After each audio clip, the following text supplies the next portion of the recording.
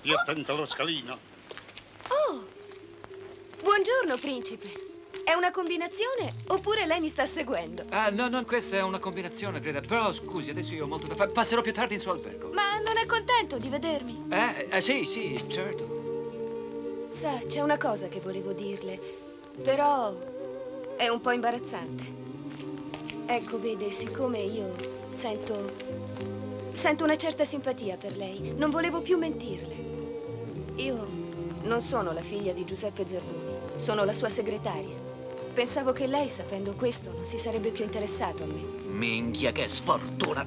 Eh, no, volevo dire... Come cosa, Curastos? Perdi tempo con le donne invece di lavorare al banco dei frutti. Voi italiani siete tutti uguali. Ma...